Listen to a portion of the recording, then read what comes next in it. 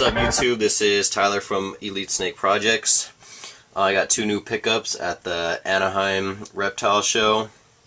It was this weekend, September 2nd and 3rd, or 3rd and 4th, sorry.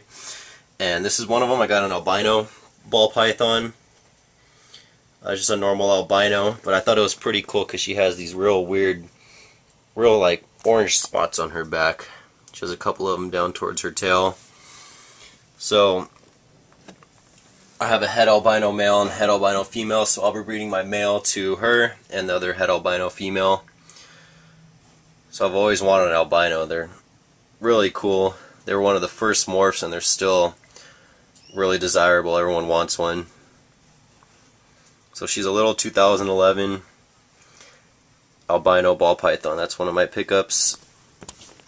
And then the second snake I got is another western hognose. I got another female. So they're wrapped up together right there, my male and female. They're both small right now, so they're all right together. I'll separate them later on. But uh, there's the big male, and then this is the little female I just got. The same day I got her, I threw a little pinky mouse in there with her, and within like 30 seconds it was gone, which is a really good sign. She's a good eater already. Didn't have to scent it or anything.